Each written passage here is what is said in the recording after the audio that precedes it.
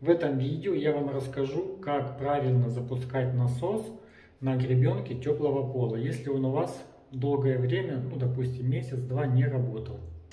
Значит, вот у нас есть с вами гребенка, есть в ней вот насос. Значит, нам нужно сначала, ну понятно, что он выключен у нас. Вот, значит, здесь мы закрываем сначала краники, если они у вас есть. Берем плоскую отверточку вот такую и откручиваем вот этот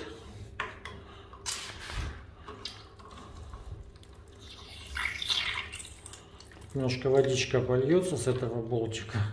Вот. Мы видим, что там у нас есть вал, да, и под отвертку плоскую, то есть нужно по вот этой стрелочке его прокрутить. мы его крутим здесь против часовой.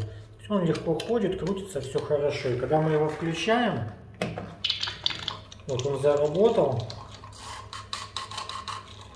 все классно. Значит, можно систему включать, теплые полы у вас заработают.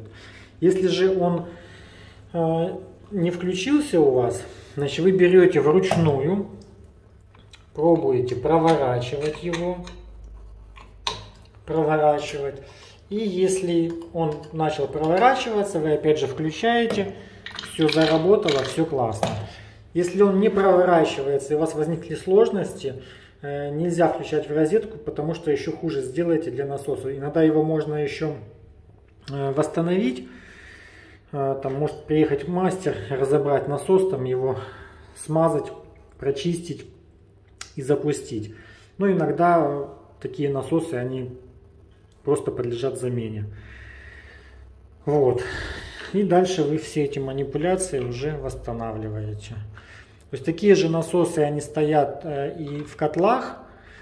Если, ну, бывает такое, там, вы там либо купили квартиру, либо отключали котел и система отопления не работала, то прежде чем запустить котел, нужно сделать ту же самую манипуляцию, но с оговоркой, что ну, если вы позвоните в сервис, они вам, допустим, разрешат это сделать, либо, если котел уже сильно старый, можете вызвать мастера, и он вам это сделает.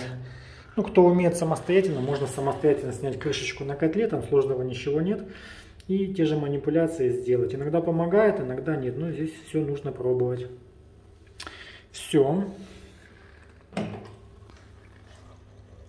Все, полы работают, все замечательно.